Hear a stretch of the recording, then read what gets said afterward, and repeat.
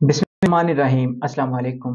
अगर आपने प्रेगनेंसी की अलामतें अपने अंदर ढूंढी हैं, आपकी प्रेगनेंसी नहीं हो पा रही तो इस वीडियो को देख लीजिए हाल आपकी प्रेगनेंसी कंफर्म हो जाएगी। इस वीडियो में आपको क्या बताऊँगा? लिटरली लोग आपको बताते हैं, वो आम अलामतें होती हैं। अगर वो अलामतें आपको नज़र नहीं आ रही हैं तो इन अगर आप अपने अंदर फाइंड आउट तो आपकी प्रेगनेंसी हंड्रेड कन्फर्म हो जाएगी। प्रेगनेंसी को करना चाहती हैं तो ये वीडियो आपके लिए है। नंबर वन पे हम बात करते हैं कि जो औरतें प्रेग्नेंट हो जाती हैं, उनके अंदर तरह तरह अलामतें आती हैं। पहले बहुत सारी वीडियोस में मैंने बहुत सारी अलामतें बताई हुई हैं। मैंने आपको ये भी बताया कि पेट के अंदर कौन सी अलामतें आती हैं। मैंने आपको ये भी बताया है कि की जो वजाइना है प्राइवेट उसके अंदर कौन सी अलामतें आती हैं। मैंने ये भी बताया है दिल में कि औरत के अंदर जो लिटरली जो अमूमी अलामतें होती हैं, वो कौन आती हैं? जिस तरह के सर दर्द का होना इस तरह कमर दर्द का होना, इसके अलावा बैक पेन का होना, इसके अलावा आपके पेट के अंदर क्रैम्पिंग होना, इसके अलावा आपके पट्टों का खिंचाव वगैरह, ये सारी अलामतें हमने डिस्कस की हुई हैं। लेकिन आज की वीडियो में जो यूनिक डिस्कस करने जा रहे हैं। इनशाला ये आपको बहुत ज़्यादा फ़ायदा देंगे और चेक करेंगे इसी तरीके से अपनी प्रेगनेंसी को। तो आप फौरी तौर पर एक मिनट से पहले पहले अपनी प्रेगनेंसी कंफर्म कर लेंगी। तो उम्मीद करता हूँ आज की वीडियो आपको बहुत पसंद आएगी। लेकिन उससे पहले इस चैनल को सब्सक्राइब कर लें, वीडियो को लाइक कर दें, ताकि आने वाली अच्छी वीडियोस का नोटिफिकेशन आपको सबसे पहले मिलता रहे। बात नंबर वन पे।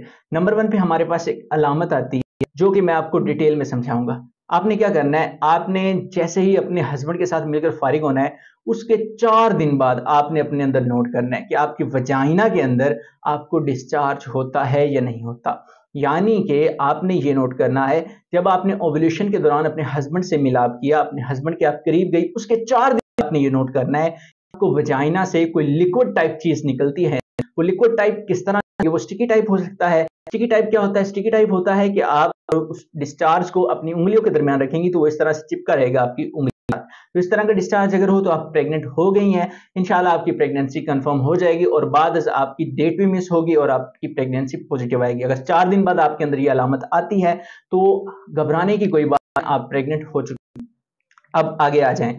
मैंने आपको ओवल्यूशन के, जब आप ओवल्यूशन के दरमियान आप मिले, उसके चार दिन के बाद आपको एक आम निशानी बताई है अगर ये निशानी आती है तो मिनट हो चुकी हैं। अब अब आपने दस दिन बाद एक अलामत देखनी है। यानी कि जब आपको ओवल्यूशन में आपने मिला और उसके बाद जब दस दिन है, उसके बाद एक और निशानी अपने अंदर देखनी है। वो निशानी क्या होगी? वो भी आपने अपनी वजाइना के अंदर देखनी है कि आपकी ब्लड टाइप चीज़ निकलती है।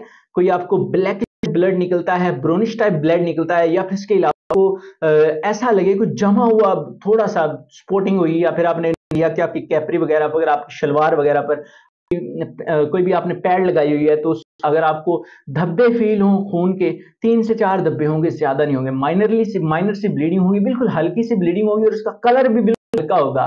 गाढ़ा कलर नहीं होगा तो नाजर मुबारक हो, ये भी प्रेगनेंसी की अलामत है। ये भी बिल्कुल साफ़ ज़ाहिर ये करेगी प्रेग्नेंट हो तो ये अलामत आपने कब चेक करनी है? ओवल्यूशन में जब आपने अपने हस्बैंड से मिला है, उसके 10 दिन बाद आपने ये अलामत चेक करनी है। 10 से 11 भी हो सकता है 12 भी हो सकता है। तो इन तीन दिनों में आपने इस अलामत को बगौर से अपने जिसम के अंदर चेक करना है।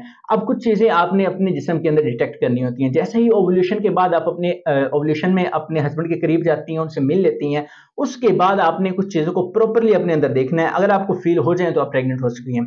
जिस तरह के अगर आपको उनसे मिलने के बाद आपको तीन से चार दिन लगातार डिस्चार्ज होता रहे, ठीक है?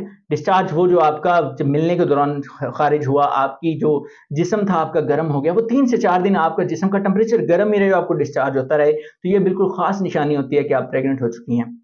अब इसके अलावा अगर जैसे ही आपने मिला है और आपको थकान स्टार्ट हो जाए, आपको ऐसा फील हो कि आपके जिसम के अंदर कोई नई चेंजेस आ रही हैं, आपको आपके जो ब्रेस्ट हैं ये भारी भारी फील हो, आपको लगे कि आपकी ब्रेस्ट के अंदर आपको पेन हो रहा है, आप जब झुकें तो आपसे झुका ना जाए, आपको झुकने में दर्द फील हो ओवल्यूशन में मिलने के बाद, ठीक है, दो से तीन दिन बाद आपने ये अलामतें चेक करनी है, आपसे झुका ना जाए, आपको डिस्चार्ज होता रहे, आपके पट्ठों में खिंचाव पैदा हो, आपको सर दर्द रहने लगे तो नाजरीन, ये भी कन्फर्म इलामतें होती हैं कि आप प्रेगनेंट हो चुकी हैं। इसके अलावा एक इलामत आपको और बता देता हूँ ओवल्यूशन के बाद अगर आपको फ्रीक्वेंट यूरिनेशन आता रहता है, यानी कि बार बार आपको पेशाब आता रहता है, जैसे ही ओवल्यूशन में आपने अपने हस्बैंड से मिलाप किया हमल ठहराने के लिए उसके तीन से चार दिन बाद अगर आपको बार बार पेशाब आना स्टार्ट हो जाए तो ये बिल्कुल एक खास और साफ़ ज़ाहिर लामत होती है जो कि प्रेगनेंसी की तरफ़ इशारा दे रही होती है। तो उम्मीद करता हूँ ये वीडियो आपको बहुत ज़्यादा पसंद आई होगी। वीडियो अच्छी लगी हो तो इस वीडियो को लाइक लाजमी कीजिएगा, चैनल को सब्सक्राइब लाजमी कीजिएगा। मिलते हैं नेक्स्ट वीडियो में। तब तक के लिए अल्लाह हाफिज़। इस वीडियो को देखने के लिए शुक्रिया।